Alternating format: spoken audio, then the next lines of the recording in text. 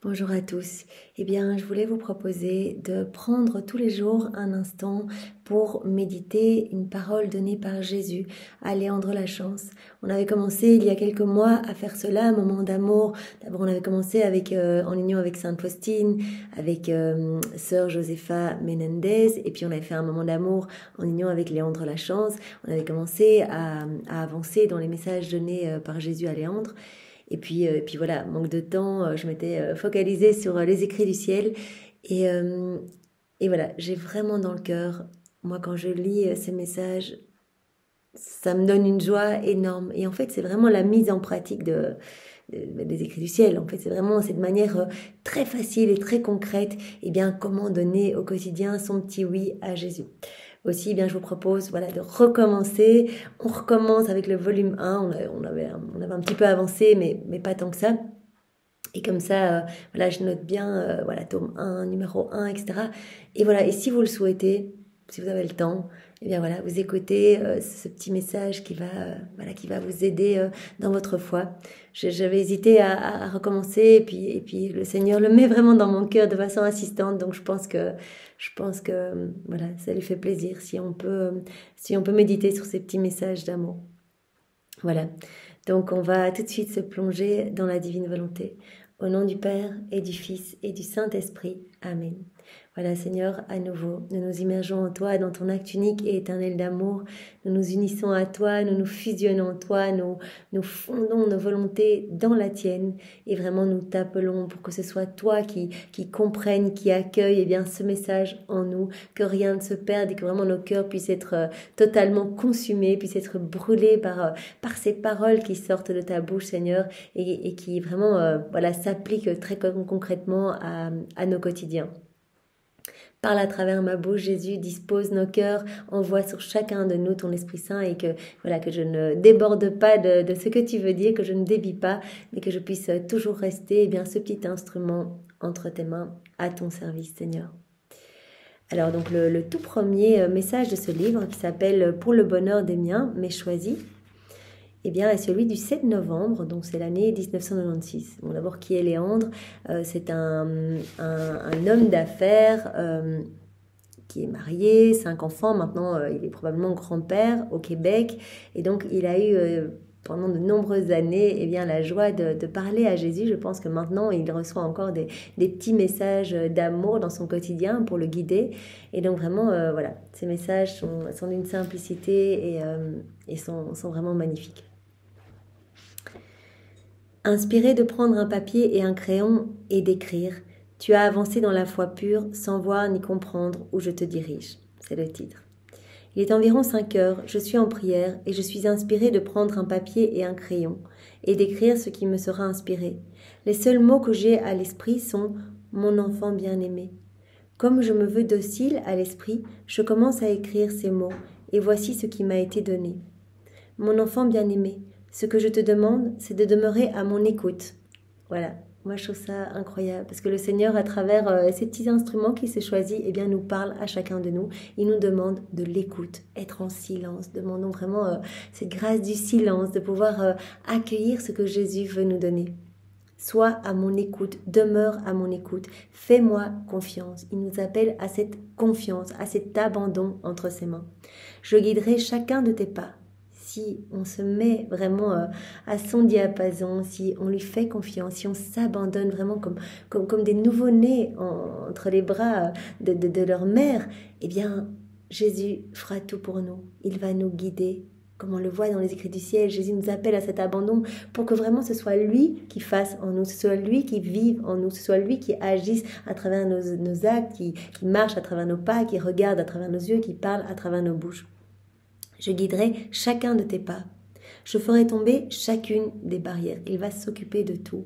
Vraiment comme euh, Jésus le dit dans les écrits du ciel, eh bien je me fais la sentinelle des âmes qui s'abandonnent entre mes bras, qui veulent vivre dans la divine volonté. C'est-à-dire que je viens et, en fait si elles restent unies à moi dans mes bras, Les démons ont tellement peur, en fait, qu'ils n'osent même pas s'approcher. Il y a tellement de lumière dans chaque acte fait en union avec moi que, les démons eh bien, sont contraints de s'éloigner. Donc je me fais la sentinelle dans ces âmes en, les gardant, en portant chacun de leurs pas. Il ne veut même pas que les âmes qui vivent dans la divine volonté eh bien, posent le pied par terre. Il dit, je, veux vraiment que, mes mains soient sous leur, euh, pas, que, vraiment leurs pas soient, soient vraiment fondus, soient consumés dans mes pas à moi. C'est moi qui veux tout faire en ces âmes. Je ferai tomber chacune des barrières. Je sais que toi, tu es trop petit pour bien comprendre ce que je te demande présentement. Tu as avancé dans la foi pure, sans voir ni comprendre où je te dirige. Cette confiance totale. On est trop petit, on ne sait pas. Jésus, lui, il a un plan pour chacun de nous. Il nous aime et vraiment, il veut que nous devenions tous des saints. C'est vraiment très beau dans ses correspondances de Louisa. Donc, il y a un petit recueil avec toutes les lettres qu'elle a écrites à travers les années. eh bien, à chaque fois, voilà, elle dit Jésus vous veut saint. Jésus te veut saint, ma soeur. Jésus te veut saint, mon frère. C'est son plan pour nous. Et donc, il peut nous donner cette sainteté, et même pas une sainteté humaine acquise par l'exercice de vertu, cette sainteté divine, la sainteté même de son Père, eh bien, uniquement si nous nous abandonnons entre ses bras et si nous lui donnons notre oui vraiment dans sa divine volonté, dans cette union avec lui, il va nous donner cette sainteté. Parce qu'il a déjà refait toute nos vies lors de son passage sur la terre, eh bien il a refait au prix de terribles souffrances que sa divinité imposait à son humanité pour refaire tous nos actes, nos pas, nos regards, nos paroles, pour tout refaire. Eh bien, nos vies sont là. Tous ces actes sont là en actes suspendus. Et donc, dès que nous nous unissons à Jésus, nous recevons ces actes suspendus, nous recevons les fruits des actions de Jésus. Et donc, notre vie se transforme. Et à chaque acte, il y a plus de lumière dans notre âme. nous pouvons vraiment le voir dans les écrits du ciel. Jésus le dit, à chaque fois que tu t'unis à moi, à chaque fois que tu dis, voilà Jésus, on va faire les choses ensemble, viens Jésus, on va manger ensemble, euh, je fais la vaisselle dans ta divine volonté, je regarde dans ta divine volonté, je, je bois dans ta divine volonté, je marche, je dors dans ta divine volonté, je parle, j'écoute dans ta divine volonté, je médite, je reçois dans ta divine volonté. À chaque fois, on donne l'autorisation à Jésus de créer de l'espace dans notre âme, de retirer les mauvaises choses, les mauvaises herbes, de tout retirer pour vraiment que sa lumière puisse nous remplir. Son projet pour chacun de nous, c'est qu'il n'y ait plus rien d'humain en nous, qu'il n'y ait que du divin, que nous soyons vraiment, euh, voilà, ces saints prophétisés par Saint Louis-Marie Grignon de Montfort, ces saints des derniers temps. Tu n'as qu'à te laisser guider, c'est peu ce que je te demande. Pourquoi trouves-tu cela difficile? C'est toujours ta tête, ta raison, qui veut tout savoir et comprendre, mais moi je suis au niveau de ton cœur ne cherche pas à comprendre comment je vais procéder, comment je vais agir, comment cela va se faire. Juste donne-moi ton oui. Et c'est très simple. Dans les écrits du ciel, Jésus nous demande tout le temps. Le matin, tu te réveilles, tu fais ton acte préalable, tu me dis bonjour, tu, me loues pour la vie que, que, que, je t'accorde parce que c'est moi qui donne la vie à, à, tous mes enfants. Et donc vraiment, je te donne une nouvelle chance chaque matin et bien de, de te rapprocher de moi. Donc loue-moi, bénis-moi, donne-moi tous les actes de ta journée. Donne-les-moi déjà. Mets-les dans les mains de ma maman, dans ses mains immaculées. Elle viendra me les apporter pour que je les sanctifie tous, que je les divinise tous, que je les marque du sceau de mon divin fiat, pour que ces actes deviennent des soleils, deviennent divins, éternels et sauvent des milliers d'âmes du passé, du présent et du futur. Pas nous, Jésus en nous, à travers nos actes. Donc ne cherche pas à comprendre, ça ne se situe pas au niveau de la tête, cela se situe au niveau de ton cœur. Je suis là au niveau de ton cœur. Je veux que nos cœurs eh bien, soient fondus l'un dans l'autre, que ce soit mes battements de cœur qui battent à travers tes battements de cœur. Et cela, vraiment, si tu me laisses toute cette place en toi, dans ton cœur, eh bien ta vie va être une offrande éternelle pour ma gloire, celle de mon Père et celle de l'Esprit Saint. À ce niveau, tu es comme un petit enfant qui commence à marcher. Tu es à faire tes premiers pas dans la foi. Je vois bien que tu es chancelant, mais l'important, c'est que tu acceptes de te tenir debout et d'avancer sans comprendre, sans discuter, sans raisonner. Et petit à petit, tu deviendras plus solide dans ta foi. Voilà, c'est la même chose. Quand on donne notre oui dans la divine volonté, eh bien au début, euh, voilà, on va donner notre oui, on va un petit peu oublier pendant la journée. Jésus nous appelle à cet acte préalable, comme il l'appelle le matin, et puis ces actes continuels dans la journée où on vient confirmer que c'est notre intention de vivre dans sa divine volonté. On va l'appeler dans nos actions. Et donc au début, c'est vrai qu'on va être un peu chancelant et qu'on va retomber dans nos volontés propres. Voilà, on dit Jésus, je veux vivre dans ta divine volonté. Jésus, viens tout faire en moi, viens divine volonté, regarder à travers mes yeux, parler à travers ma bouche, agir à travers mes actions, marcher à travers mes pas, faire battre mon corps, viens tout faire en moi comme tu as tout fait dans l'humanité de Jésus lors de son passage sur la terre, comme tu as tout, fait dans l'humanité de Marie, dans, tout ce que Marie a fait. On demande ça, on est plein d'entrain, plein nos ailes, Et puis voilà, on voit le voisin qui passe, qui, qui, qui, voilà, qui nous coupe la priorité ou que sais-je. Et directement, on quitte la divine volonté parce qu'on s'énerve, on commence à manquer de patience, etc. Mais le Seigneur nous demande de toujours revenir et de lui faire confiance. Au début, on est chancelant, on est comme euh, ces petits enfants qui commencent à marcher. Oui, ils chutent, on va retomber, ça c'est sûr. Mais le Seigneur opère ce travail de purification dans notre âme. Parce qu'à chaque fois qu'on fait un acte, il y a quelque chose qui se crée en nous. Le Jésus prononce la parole de la consécration sur notre âme. Donc notre âme devient devient magnifique. Notre acte est comme une hostie qui vient le nourrir. Notre âme devient comme douceur qui vient abreuver Jésus. On vient consoler Jésus et il y a plus de sa, sa, présence en nous. Chaque acte fait grandir sa vie divine en nous. Donc oui, même si on chancelle, eh bien le travail fait en union avec Jésus, ce que l'on fait en union avec Jésus, cela reste acquis. Cela reste un soleil éternel qui est vraiment en dépôt dans la divine volonté. Les anges viennent le chercher et le mettre en dépôt dans la divine volonté et ce soleil, euh, eh bien, touche des âmes, euh, voilà, sanctifie des âmes, etc. Donc au début, oui, on va être chancelant. Oui, peut-être que les démons, euh, quand, on va chuter, quand on va retomber dans nos volontés propres, vont essayer de nous décourager, puisqu'ils ne peuvent pas nous attaquer tant qu'on est en, unis à Jésus. A trop de lumière, ils ne peuvent pas nous attaquer. Et donc dès qu'on va...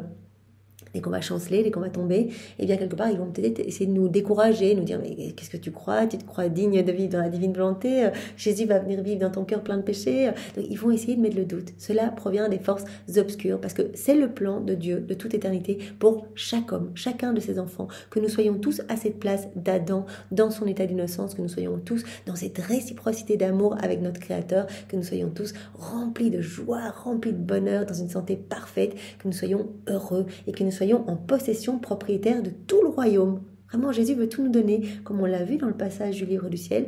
Voilà, quand on vit dans la divine volonté, l'âme qui s'abandonne entre les bras de Jésus, qui donne son oui, qui veut vraiment vivre dans la divine volonté, eh bien cette âme possède le jour éternel. C'est-à-dire que dans son âme, il ne fait jamais nuit, il y a tellement de lumière. Et cette âme devient propriétaire de tout. Petit à petit, voilà, le Seigneur va nous guider, on va être pris dans cette danse, dans cette danse d'amour, dans cette danse continuelle, on va être appelé à, à suivre tous les actes de la divine volonté, puisque la divine volonté, elle travaille partout dans les éléments créés, euh, la divine volonté travailler dans l'humanité de Jésus, euh, etc. Donc on va être appelé à faire des rondes dans l'œuvre de la rédemption, de la création, de la sanctification, dans les sacrements, etc.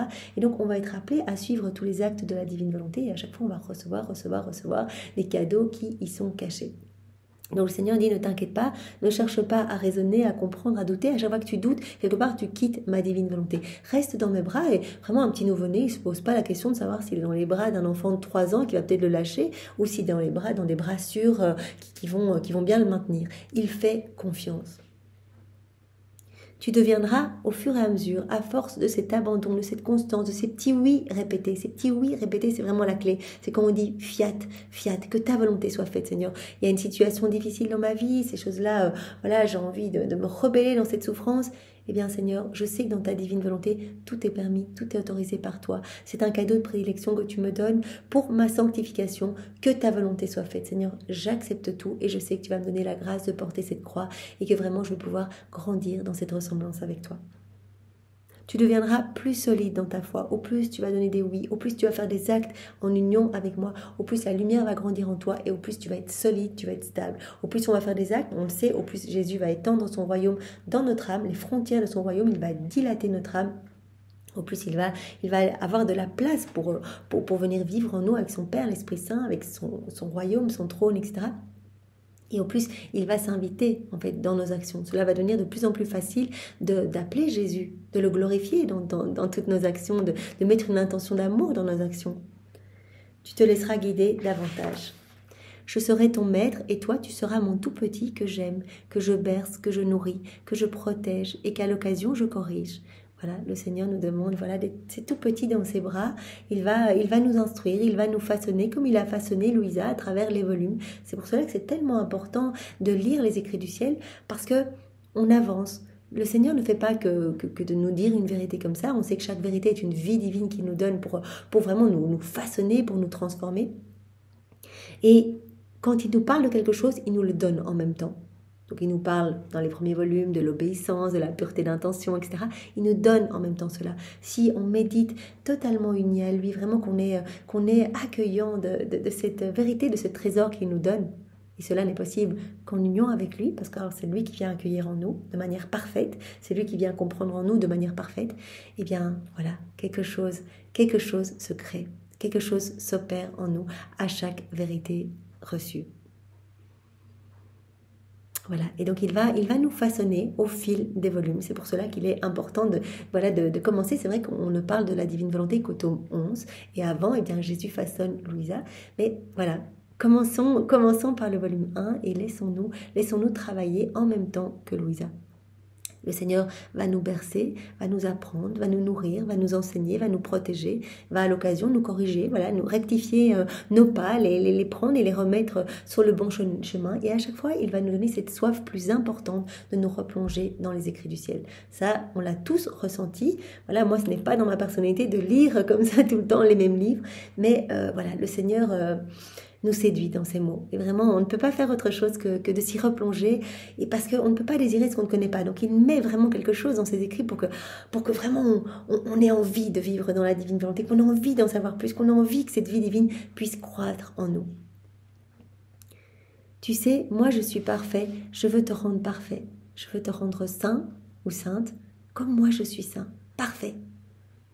Et toi, qui n'y peux rien, tu n'as qu'à me laisser agir et me répéter tes oui. Super facile. On n'a qu'à laisser Jésus agir en nous. Donc c'est pas comme la sainteté des saints, euh, voilà, qui ont dû, euh, qui ont dû bosser, faire des, des, des, sacrifices, euh, mourir martyrs, des, voilà, des mortifications, etc.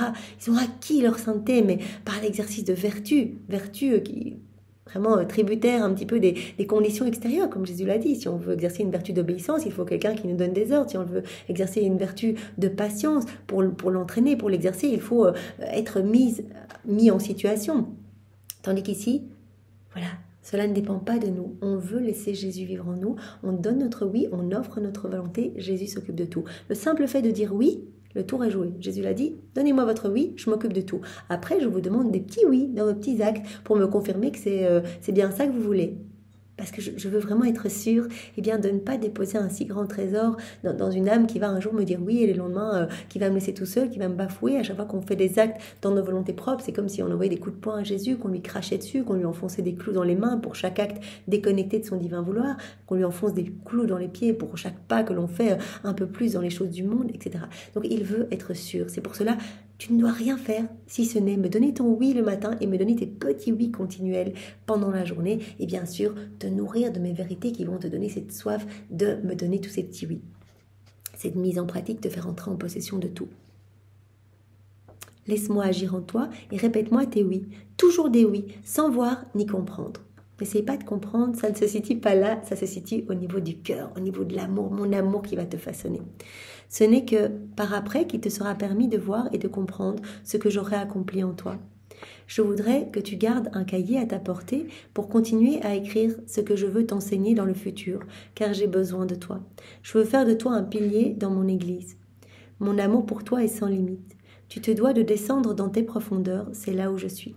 Voilà, donc il va se servir de, de Léandre la chance de ce monsieur euh, pour euh, comme pilier pour que d'autres âmes soient touchées quelque part. Euh, voilà c'est toute la mise en pratique de, la divine volonté. Donc peut-être des âmes qui, ne vont pas découvrir les écrits du ciel ou qui n'ont pas la possibilité d'avoir les, écrits du ciel et eh bien qui vont tomber sur les, les, tous ces messages d'amour de Jésus à Léandre la chance et qui vont voilà, qui vont être touchés, qui vont directement rentrer euh, voilà, dans cette mise en pratique, en donnant leur oui, en s'abandonnant davantage, en laissant Jésus prendre plus de place dans leur cœur. Donc quelque part, c'est vraiment cette mise en pratique de vraiment de, de la vie dans la divine volonté les écrits de Léon de la Chante de manière très facile et très concrète. Maintenant, bien sûr, je vous invite les écrits du ciel, c'est, le must, c'est magnifique. D'ailleurs, Jésus dit, voilà, tous les, les, les, quelque part, les murs, entre guillemets, du ciel sont, sont comme remplis de tous ces écrits, en lettres d'or, partout, partout, partout. Et les bienheureux, et bien, vivent complètement dans la divine volonté. Et c'est pour ça que je donne à l'âme qui vit dans ma divine volonté la vie des bienheureux ici-bas sur la terre. Elle peut déjà avoir un goût du ciel ici-bas en s'unissant à moi. Donc vraiment, ces écrits euh, sont magnifiques et, et, transforment. Donc vraiment, je vous invite bien sûr, si ce n'est pas déjà fait, euh, à commencer ces écrits. descends dans les profondeurs, c'est là où je suis. Je suis dans ton cœur, je t'attends et je suis dans tous les cœurs. Jésus nous le dit tout le temps, je suis dans les cœurs de chaque homme, c'est moi qui donne la vie à chacun, c'est moi qui donne le mouvement, c'est moi qui donne voilà, les battements de cœur, c'est moi qui, qui, qui fait tout en l'homme. Mais malheureusement, malheureusement, euh, même si je donne la vie à l'homme, l'homme est ingrat. Et donc l'homme ne veut pas de moi. L'homme ne me laisse pas de place. Donc je suis là et j'agonise de ne pas pouvoir déverser mon amour. À chaque fois qu'un homme fait un acte tout seul, sans m'appeler, il m'étouffe. Je suis la divine volonté, je suis dans le cœur de l'homme. C'est moi qui est là dans le cœur de l'homme. Mais quelque part, en étant écrasé par des décombres, par, par des ténèbres, par des puanteurs, voilà, chaque acte, c'est comme si on venait mettre vraiment une couche de fumier sur Jésus on étouffe sa divine volonté, qui ne peut pas se déployer, qui ne peut pas agir, qui est comme euh, esclave de notre volonté humaine. Jésus souffre. Il dit, mais, moi je veux mes enfants heureux, je les vois euh, malheureux, vraiment regarder le taux de suicide, le taux de, dépression, de burn-out, des gens qui ne savent pas où ils en, sont, la recherche avide de toujours plus de pouvoir, les guerres, etc. Jésus souffre. C'est pas comme ça qu'on a été créé. On a été créé dans la, vraiment plein d'amour, plein de joie, euh, comprenant vraiment tous les bonheurs célestes, toutes les béatitudes. Vraiment, on avait tout. Adam, dans son état d'innocence, avait tout. Et donc Jésus souffre souffre de ne pas pouvoir déverser son amour, ça l'asphyxie, ça l'agonise. Il est dans notre cœur. C'est à nous à descendre dans notre cœur et dire Jésus, je veux te laisser toute la place. Je veux que ce soit toi, Jésus, qui prenne les commandes de mon existence. Je ne veux plus faire les choses toute seule ou tout seul. Je veux que ce soit toi qui agisses en moi. Je veux que ce soit toi qui parle à travers ma bouche. Je veux que ce soit toi qui écoute à travers mes oreilles. Je veux que ce soit toi qui fasse tout dans mes mouvements. Que ce soit toi qui regarde à travers mes yeux. Que mes regards soient vraiment imprimés de du saut de ta compassion. Je veux que ce soit toi qui penses à travers mes pensées, que mes pensées soient toutes centrées en toi. Je veux que ce soit toi qui, vienne marcher dans mes pas. Je veux que ce soit toi qui fasses tout. Seigneur, toi, pas moi, toi. Je ne veux plus ma volonté et je, je te l'offre que ce soit ta divine volonté qui opère en moi. Donc c'est dans notre cœur que nous pouvons descendre dans le silence, écouter Jésus et lui laisser plus de place, donner notre oui. Veux-tu être toujours en ma présence? Tu le peux maintenant, car tu sais où je suis, et je suis toujours avec toi. Tu n'as pas à me chercher ailleurs. Je suis là, bien en toi, dans tes profondeurs. Comme je t'aime, j'ai la même fierté qu'une mère qui voit son tout petit faire ses premiers pas. Demain, nous reprendrons un autre petit exercice ensemble. Je t'aime. Donc voilà, le Seigneur nous demande pour aujourd'hui, petit exercice du jour, eh bien d'essayer de, lui donner plus de oui, de, prendre quelques minutes de silence pour venir, euh, venir lui parler dans notre cœur et dire voilà, Fiat, que ta volonté soit faite, tu as un plan pour moi, je te donne mon grand oui, fais ce que tu veux de ma vie, que je ne sois pas un obstacle, que je ne sois pas, euh, euh, que je ne mette pas des bâtons dans, dans, dans, le plan que tu, que tu veux mettre en place pour moi, tu as toute la liberté, Seigneur. Je te fais confiance, je t'aime, je m'abandonne à toi. Et cela rejoint, voilà, cette, euh, cette neuvaine de Don de Lindo, il me semble. Seigneur, je m'abandonne à toi, c'est à toi d'y penser. Voilà, si vous voulez faire cela comme exercice aujourd'hui, Seigneur, je m'abandonne à toi, c'est à toi d'y penser. Ou quelque chose qui nous arrive de désagréable, des personnes qui nous répondent sèchement, que sais-je, euh, des situations difficiles au boulot. Seigneur, je m'abandonne à toi. On prend ce temps, on descend, on ne te laisse pas déborder, euh, on va rechuter dans nos volontés propres. Seigneur, je m'unis à toi, je te laisse gérer ces situations, je m'abandonne à toi. C'est à toi d'y penser, c'est toi qui vas venir régler ces situations en moi. Je laisse ton amour déborder de, de mon cœur. Remplis-moi ton amour et que ton amour déborde et vienne toucher les personnes autour de moi. Jésus, moi j'ai souvent dans le cœur, euh, j'ai l'impression que Jésus me dit, occupe-toi de moi et je m'occuperai euh, par exemple euh, voilà de mes enfants euh, quand, quand, c'est difficile quand il y a des moments un peu de voilà de, de, turbulence voilà ils sont là à courir dans tous les sens à faire du bruit.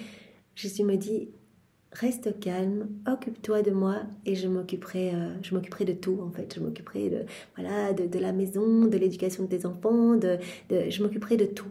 Occupe-moi Occupe-toi de moi, donc descends dans ton intérieur, donne-moi de l'amour, reste les yeux fixés sur moi, unis-toi à moi, et moi je viendrai tout faire à travers ton humanité, et, tu verras que tout va se mettre euh, super bien, et je, dégagerai des plages horaires dans ton temps pour que tu puisses me les donner, etc. Donc c'est juste magnifique et chaque acte fait dans la divine volonté eh bien, vaut plus que, toutes les prières réunies de tous les saints de tous les temps parce qu'un acte fait dans la divine volonté, Jésus qui le fait en nous, eh bien c'est un acte, un acte fait par Dieu. Et donc dans la balance, on mettrait euh, voilà, euh, voilà, Dieu qui, qui fait quelque chose du ciel euh, et, Dieu qui fait quelque chose en nous, bien sûr, les plateaux seront à égalité. Par contre, si on met un acte fait par Dieu en nous, Jésus vient manger en moi, je mange, extérieurement rien ne se passe, c'est la même chose qu'une autre personne qui mange, je le dis dans ma tête, je mets cette intention de laisser Jésus manger en moi. Eh bien dans la balance, euh, on peut mettre de l'autre côté euh, les martyrs de tous les saints que nous aimons, nos saints patrons, leur vie, leurs prières, etc. Dans la balance, eh bien cet acte aura plus de poids. Bien sûr, les saints avant Louisa, je ne parle pas des saints vivants dans la divine volonté, très certainement après Louisa. Voilà la, réponse de, Léandre à, à, Jésus.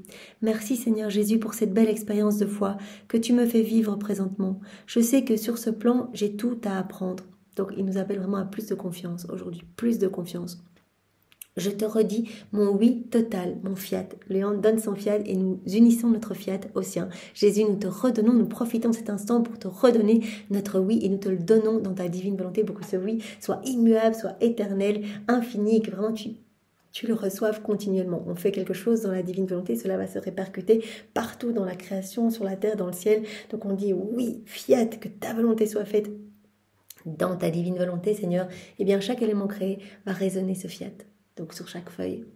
Piat, piat, piat, dans chaque molécule d'air, chaque particule de lumière, chaque atome de terre, dans les rayons du soleil, dans la force des vagues, dans, chaque goutte d'eau, dans absolument partout. Chaque, chaque petit oiseau, chaque, chaque animal, eh bien, fiat, fiat, fiat, va répéter, eh bien, ce fiat si on dit je t'aime Jésus avec ta volonté, c'est la même chose, ce je t'aime se répercute partout et cela amène une compensation d'amour à Jésus, cela amène une consolation. Vous imaginez, face à tant d'offenses, tant d'iniquités, tant de méchanceté humaine, eh bien il entend cet amour qui, qui vient vraiment lui apporter un, un doux soulagement, un petit baume euh, sur son cœur. C'est pour cela qu'il il parle des âmes qui vivent dans la divine volonté, qui, qui s'unissent à lui continuellement, eh bien de voilà d'autres mères. Il dit euh, ces âmes sont comme d'autres mamans pour moi parce que parce que vraiment elles me consolent continuellement elles me prennent dans leurs bras et, euh, elles me donnent en fait à manger, à boire, elles, recréent autour, autour de moi et eh bien, un air frais dans notre cœur. Quand on vit dans la divine volonté, ce n'est plus un air euh, qui, sent mauvais, qui est putride parce qu'il n'y a plus cette vie divine en nous, comme on fait grandir cette vie divine en nous, eh bien l'air devient pur, devient frais, devient voilà tout est lumière. L'âme possède vraiment cette, cet éternel jour et possède tout. Et donc vraiment, il y a comme un paradis qui est recréé dans l'âme. Voilà, à chaque fois qu'elle fait des actes, eh bien, euh, le Seigneur vient orner notre âme de, de, plus beaux ornements encore du ciel. Chaque fois quelque chose de nouveau, de distinct, magnifique. Et donc, il nous fait grandir dans cette plénitude de sainteté, de beauté, de pureté. Et il se sent bien euh, dans notre cœur. Donc vraiment, nous redonnons avec Léandre notre oui, notre fiat, et nous le faisons dans ta divine volonté, Seigneur, au nom de tous et sans condition. Vraiment comme si euh, notre oui, eh bien, nous, nous, nous venions le placer sur toutes les lèvres de tous les hommes, on se jette à tes pieds, on se met à tes genoux, Jésus, et on embrasse tes pieds, on te dit, oui, Jésus, nous nous offrons à toi au nom de tous, Seigneur, au nom de tous ceux qui ne te veulent pas, tous ceux qui ne t'écoutent pas, tous ceux qui ferment leur cœur, tous ceux qui, te blasphèment, au nom de toutes les âmes, bien, qui commettent des sacrilèges, au nom de tous les sectaires, tous ceux qui, t'offensent, qui te blessent, qui blessent ta maman, nous te disons, nous t'aimons, nous t'adorons, nous te louons, nous te bénissons, nous te glorifions, nous te remercions et nous te donnons notre oui total que vienne s'établir sur la terre ton royaume d'amour, Seigneur. Je veux être ce tout petit qui se laisse aimer, transformer et corriger. Voilà, nous aussi, nous voulons être ces tout petits. Et justement, Jésus nous parlait hier dans, euh, voilà, dans, dans, le passage d'hier que nous avons médité ensemble.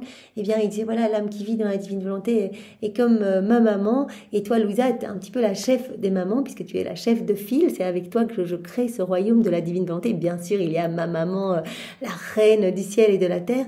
Mais voilà, tu es comme une autre maman pour, pour toutes ces petites âmes qui vont devenir comme des petites mamans pour moi. Donc elles vont, elles vont regarder comment tu priais, comment, euh, comment tu faisais tes rondes, etc. Donc tout ce que je t'ai enseigné et elles vont essayer de faire comme toi pour devenir d'autres petites mamans. Et il y avait donc ces petites âmes autour de Jésus et de Louisa qui étaient représentées par des petites filles, des petits garçons. Et Jésus disait, voilà, les âmes qui vivent dans ma divine volonté, eh bien, sont d'éternels enfants, en fait. Et il nous appelle à devenir euh, ces enfants dans l'évangile. Il dit, soyez petits, le royaume des cieux appartient à ceux qui sont tout petits, aux petits enfants, à ceux qui sont purs euh, de cœur. Et Jésus dit, dans la divine volonté, je maintiens toujours cette pureté, cette fraîcheur, cette, cette, euh, cette, cette beauté, en fait, comme si l'âme venait de sortir de mes mains, en fait. Donc c'est cette, euh, cette innocence, en fait.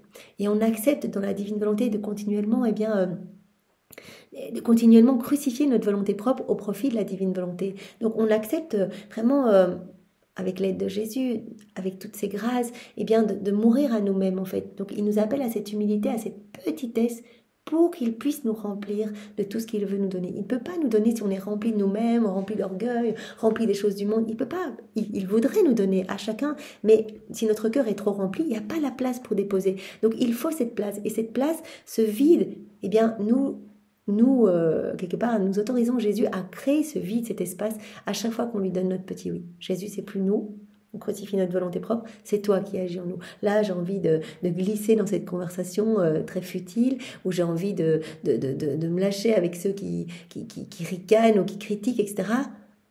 Non, Seigneur, non, c'est toi qui agis en moi. Je crucifie ma volonté propre et vraiment, je te laisse agir en moi. Je laisse ta lumière euh, rayonner. Vraiment, je, je, voilà, je, parle de toi, je t'aime et, euh, vraiment je, te mets à la place d'honneur. Donc voilà, cet espace, eh bien, euh, ne pourra se créer que dans, que dans cette humilité, que dans cet abandon, parce que c'est Jésus qui va l'opérer en nous, qui va, le, qui va le recréer en nous. Comme j'aimerais devenir un saint, je sais que par moi-même je suis impuissant, mais toi tu le peux, et je t'en supplie fortement. Je sais également que tu ne peux me refuser une telle demande. Merci d'entendre celle-ci. Donc euh, voilà, Léon demande, demande de, grandir vraiment en sainteté, et Jésus justement dit, voilà, l'âme qui vit dans la divine volonté, elle va grandir continuellement, jour après jour, elle grandira un peu plus euh, dans ma ressemblance, et donc elle deviendra vraiment euh, sainte, elle deviendra sainte, cette sainteté divine. Je t'aime Jésus et je demande à Maman Marie de me guider vers toi. Maman Marie, reine du royaume de la divine volonté, et bien nous te le demandons en union avec Léandre de nous guider vers Jésus. Si tu nous vois chuter, prends-nous dans ton manteau, serre-nous contre ton cœur, prends-nous vraiment euh, tout contre toi et amène-nous à notre juste place dans le cœur de Jésus pour que vraiment euh, nous soyons comme enchaînés dans son divin cœur et chaque fois que nous faisons des actes, et eh bien Jésus nous enchaîne davantage avec ses chaînes d'amour et vraiment que nous puissions euh, eh bien ne voir que Jésus, n'entendre que Jésus dans son cœur en fait, fermer dans son cœur, ne voir que les flammes de son amour, ne sentir que son amour, ne parler que de Jésus, euh, que notre cœur ne batte que pour Jésus, que nos mains ne travaillent que pour Jésus, que nos pas ne marchent que vers lui. Vraiment, Marie, nous te demandons d'être, d'être vraiment euh, eh bien, euh, voilà, nous te donnons cette autorisation d'être, d'être vraiment notre mère chérie. Nous te reconnaissons comme notre mère et notre reine. Et nous te supplions de ne jamais lâcher notre main. Enfin, nous savons bien que toi, tu veux toujours garder notre main entre la tienne, mais que c'est souvent nous qui, qui voilà, lâchons ta main, lâchons celle de Jésus et, nous, perdons nous perdre, euh, enfin nous enfonçons vraiment dans, nos péchés, alors vraiment, euh, voilà, ne nous permets pas de nous éloigner de toi ni de Jésus. Merci Jésus pour, euh, pour ce message d'amour. Vraiment au nom de tous, nous t'aimons. Nous t'aimons infiniment avec ton propre amour. Nous te louons avec tes propres louanges. Nous te bénissons avec tes propres bénédictions. Nous t'adorons avec tes propres adorations. Nous te rendons gloire, Seigneur. Nous voulons vraiment que tous puissent t'aimer, que ce moment puisse avoir des effets dans tous les cœurs. Au nom du Père et du Fils et du Saint-Esprit. Amen. Soyez tous bénis. Au revoir.